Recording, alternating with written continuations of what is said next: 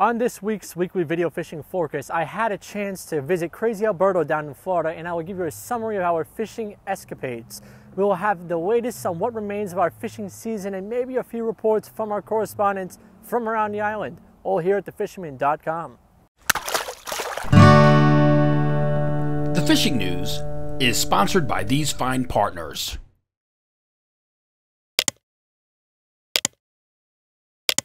Last week I was down in Florida with my friend Crazy Al and Andre, and I'll let you know Crazy Al sure does live up to his reputation. In my time down south, I believe we caught 18 different types of species, covered over 1,000 miles throughout the state, and some of the highlights had to be going offshore for amberjacks catching a Goliath grouper, which is comparable to a blackfish on steroids, stalking rare clown knifefish, and hitting the peacock bass holes. The weather was great, and it was a great trip to do what I love. For those who have not experienced some Florida fishing over the winter, I suggest you give it a try. Now that it's winter, you may have some tog that you recently caught. Why not blackfish chowder? Just a reminder that last year, Jenna Lombardo had a great recipe, perfect for this time of the year. Click on the card or check out the link in this video's description. Many boats are being pulled out of the water right now, but if you still have one in or you get the urge to hop on a party boat or a charter boat, I'll let you know Montauk still has a good bite of tog, sea bass, and cod in about 100 feet of water. Remember, this is the last week of tog fishing as it closes on the 22nd. The South Shore wrecks and reefs are still producing tog, but the bite has slowed a little bit. I did hear of the Western reefs having fish up to 10 pounds. I also got word that the herring moved in on the North Shore harbors too. Toward the city reaches the East River and Throgs Neck area, along with the West End had shots at stripers. Remember, the striper season is closed for those who want to keep a fish, but you still may catch them and release. Next week, we will have the final standings in the Dreamboat and Kayak contests. So be sure to check out next week's weekly video fishing forecast right here, or check out the January digital issue that will be out on Monday. And we'll also have the big 2022 buyer's guide in there.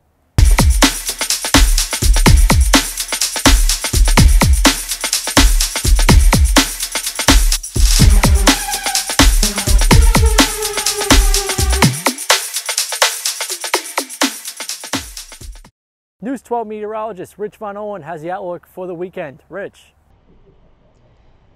Hey, thanks, Matt. Let's check that weekend forecast. And uh, again, always check your favorite apps, favorite websites, uh, whatever you have. This is a general overview, general heads up on the upcoming weekend. Let's see what's going on. Water temps, 40s, 50s, kind of staying where they've been, and you know, kind of above normal for this time of year as well. It's been kind of a warm fall. Two to four on Saturday. There'll be some rain coming down. It's not going to be a pretty day, but Looks like the wind generally east. It won't be very strong, but uh, gusty winds start to kick in on Sunday from the north northwest. It'll chop things up, especially offshore. Again, some rain Saturday. It looks like more of an east northeast, uh, 5 to 15. I don't see gusty, gusty winds on Saturday. And again, you'll have to deal with some rainfall. And then Sunday, it looks like it, things clear out, but the winds go northwest about 15 to 25 and that's going to uh, kick things up quite a bit. High tides, full moon now this weekend, North Shore, South Shore. And let's check the uh, high temps, uh, 40s on Saturday, and then uh, even colder on Sunday with some low 40s.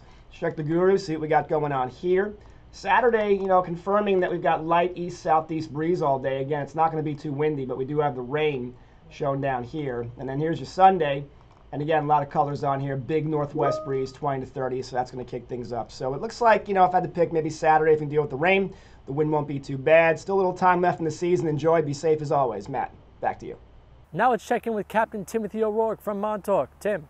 Thank you, Matt. Well, greetings, everybody. Uh, holidays are rapidly approaching. Hope everybody's got their gifts for all their uh, fishing friends and family in order. Um, still going strong out here in Montauk. Uh, fishing's actually really riding out, and it's finishing in a very strong way. Um, I was down on the beach Sunday morning. I saw a little pot of bass working its way down the beach, which was a really pleasant surprise. Um, unfortunately, I had somewhere to go, so I didn't wasn't able to grab my surf rod and get down there and really take advantage of it. But I think that's probably going to just about do it for the surf fishing out here. Um, in regards to black fishing, sea bass, cod fishing, porgy fishing, uh, still going strong. It's finishing really well. Um, Dave Armino, the captain of the Viking Star, he was telling me on Tuesday they had plenty of large porgies, plenty of sea bass, a couple codfish mixed in, and I believe some pollock, he said. Um, Paul Bruno on the Elizabeth too. He was telling me the last couple days fishing's been excellent. outside of a couple days where he's really had to work and look for him and try a few spots, but he's basically been limited out on blackfish every time. So I have some nice pictures from Paul. Um, uh, little Steven on the five star, he was going fishing today on Wednesday, so I might have a report on that next week. Uh, I was talking to him pretty extensively. Those guys are going to keep fishing right into the new year. Um, they're hoping to get a little bit of a cod season going this year, so uh, pay attention to their website, see what's going on. Um, fishing's really good. Jamie on the Miss Montauk, they're doing really good right now too. They're still catching fish. They're doing mixed sea bass, cod, and blackfish. Uh, the Miss Montauk is limiting to 30 people, so it's really a nice, enjoyable day on the water. All right, all these boats are by reservation only, so get on their website and check it out. Everybody, I'll talk to you next week. Matt, I'll get it back to you now. Thank you. From Shinnecock, let's check in with Mike Dean. Mike. Thanks, Matt. Hey, everyone. Well, the day has come. Uh, filming this on the 15th, last day of striped bass season. Uh, really had a, had an amazing season. Uh, can still play catch and release with the holdovers and you know small resident fish. Um, I mean, most of us do catch and release, you know, all throughout the season. Um, I definitely think that the bays are the better spot to, you know, if you are going to put some time in to do that. Although there could still be a couple of small stragglers off the beach. Uh, plenty of rec rec trips on a lot of the head boats between Sheepshead Bay and Montauk. So that's also an idea to get that cooler full and the freezer full of some tasty cod, sea bass, and blackfish fillets. And uh, like I mentioned last week, the off season is the time to you know really focus on your gear, on maintenance, on you know swapping out you know new trebles, split rings, swapping out the second treble on the back to an inline hook or just a swash on there. Um, you know, really goes a long way. I mean, unfortunately, we're in that kind of predicament again of you know what's going on with the bass. We've had some tough spawning years. Um, you know, so just thinking about that mortality of the fish that a lot of times the two treble hooks, three treble hooks in some cases can cause. That single tail hook definitely makes a difference. Um, and just your gear in general. Uh, one thing that I always have to remind myself about is loosening the drags on on all my rods. I just totally forget. I remember to rinse them off, but I really remember to loosen up the drags. And really no reason to have them uh, tightened up for, for the off season while all this stuff takes a nap until the spring. So that's uh, something to to keep in mind. Um, anyone needs any guidance on you know what boats are going out on trips, don't hesitate to hit me up. Leave something in the comments below. You can go onto the Fisherman website and uh, you know, coming up on Christmas, hopefully Santa's going to leave some nice fishing gear under the tree for everyone. Okay, until next week. I'll talk to you then. Back to you, Matt. Paul McCain from River Bay Outfitters has the fly and light tackle report along with a few great gift ideas for the holidays. Paul. Hello, Matt. Well, another season's come to a close. Uh, you still can fish for stripers, you just can't keep any, uh, and it's catch release only. Uh, but it is getting cold. This is after December 15th, so it is what it is. Uh, as far as fishing goes, I have been hearing, you know, John McMurray took uh, South Shore Salt Tim Regan out on his boat the other day, and they they were out looking for tuna, and they found them. They couldn't get them to eat, but they did find them. It's amazing. I'm hearing tuna in 30 feet of water. Uh, Captain Brian from uh, East Rockaway he's catching stripers in his canal. It's it's crazy. It's a crazy year. All right, uh, but freshwater scene is still going well. The Connecticut is fishing well. Dennis and John went out there and they did uh, again terrific, deep, slow nymphs, and it was the Frenchie that actually they caught a lot of fish on. Uh, as far as going up to Connecticut, most of the rivers are still high but fishable. Uh, the Mianus is doing well, and you can also go fish the Croton system. Most of the rivers in New York are open uh, 12 months out of the year now. Just go on their website and you, you'll see all the regulations. Each river has their own regulations.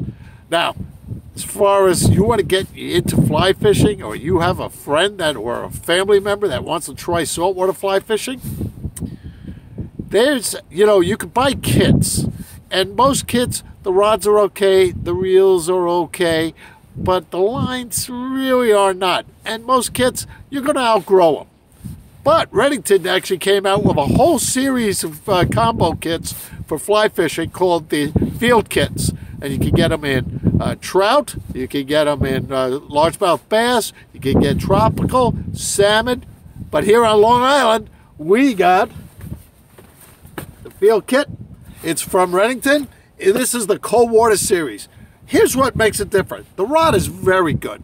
The reel is good. But the line, it's a premium line. It's a $100 line. These kits sell for less than $400. They have a, a reel that's worth $150. The rod is worth about $200. The case is worth $50 and a $100 line. You can't go wrong. You will not outgrow this. This could be your rod forever. Uh, it's a terrific, for here on Long Island, uh, we have them at River Bay Outfitters. Stop in. And to the next week, tie lines, everybody. From Northport, we have Mark McGowan from Cow Harbor Bait and Tackle, who has some great gift ideas too. Well, this week has been such a great time to get out and do some trout fishing. If you're on the fly or you're doing some spinning, remember uh, on Long Island, different ponds or lakes that you can go fishing in might have um, a different uh, set of rules as another one. Whereas some areas are only designated fly, and in other areas you can do whatever you want. You know, bamboo pole it if it makes you happy. Um, great news. You know, we build so many custom rods and we do so much stuff here at the shop, whether it's service work on reels or rods, you name it, Boga grips. We're famous for Boga grips. We're giving back something really cool. For every 50 bucks that you spend at Cow Harbor, this is gonna go right through the winter and uh, we're gonna uh, stop it. We're gonna have a grand uh, prize of a custom rod that we're going to do. It's going to be up to 500 bucks. It gives you a lot of different options for a custom rod, whether you're on the boat or surf casting guy. So here how it is. You come in, whether it's service work, hats, apparel, anything. It doesn't matter. Buying uh, uh, brand new reels if you're getting a custom rod. For every 50 bucks you spend, you get a raffle ticket. And what that means is that you come, you spend uh, 50 bucks, you get one raffle ticket. You buy something that costs $200, you get four raffle tickets. And you get as many raffle tickets as you can accumulate. And then we're gonna do this drawing April 1st. We're gonna have a little fun shop thing going on, some nice sales. We're gonna do this raffle, a live raffle. And then uh, whoever wins, you know, you'll get in touch with us within like 24 hours, 48 hours, whatever it is, something simple. We're gonna make you an awesome custom rod. And that's just like gives away so much. So come on down. It's for everything that we sell in the shop, whether it's service or hard goods. I hope to see you here. It's such a great thing. And thanks to everyone who keeps coming down and helping support our family business. Uh, we love you and uh, we really love to give back. And remember, uh, even on top of this, you still get your customer loyalty points. So for every 200 points you um, you spend, uh, you $200, you get 10 bucks back in store credit plus raffle tickets. So there's always constant giveaways on top of our fantastic prices. And I, I think it's what makes people so happy. And listen, if you have a loved one who loves fishing, you don't know what to get them, we do loads of these. It's the Cow Harbor gift certificate. We put you in the book. There's no plastic, there's no fees. You use this for whatever you want. Sometimes people say, hey, tell a family member, get me a few. They put it towards a custom rod and reel, whatever you like. Your money's great at Cow Harbor. We love servicing our customers. Until next week, we bid you all peace and tight lines. Raul Ortiz, the urban angler, has this report from the Western Sound and South Shore. I'm here with my report. Just want to say uh, fishing is still lock and load pretty much with schoolies. Uh, fished the Western Long Island Sound for a bit uh, a few times. Uh, still a lot of fish around. Um, most fish are schoolie size, anywhere from 20 to slot size. And I fished yesterday right here, closing of the season, right here in the East River. Pretty much lock and load. Birds working at night here, and uh, just pretty good fishing. Um, but time is winding down now, and uh, season's closed today. Don't forget, if you if you like to still fish during the off season, uh, you can still catch and release. Um, anyway, tight lines, everybody. Happy holidays, and uh, back to you, Matt. Please support our correspondents by visiting their websites and social media pages. Remember to shop local this season and visit your tackle shop for the angler in your life. If you like what you've been seeing here on our YouTube channel, please like our video, subscribe to our YouTube, and tap on the bell to be notified instantly when we post a new video on YouTube. And please subscribe to the Fisherman Magazine, which, by the way, is a great holiday gift for the angler in your life. We'll see you right here next week at thefisherman.com.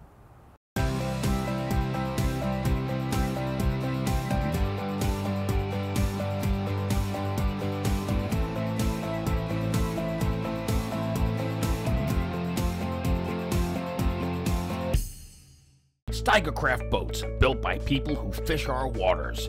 Serious anglers choose Steigercraft for their 40 years of boat building experience right here in the Northeast and Mid Atlantic. Visit steigercraft.com for a dealer near you.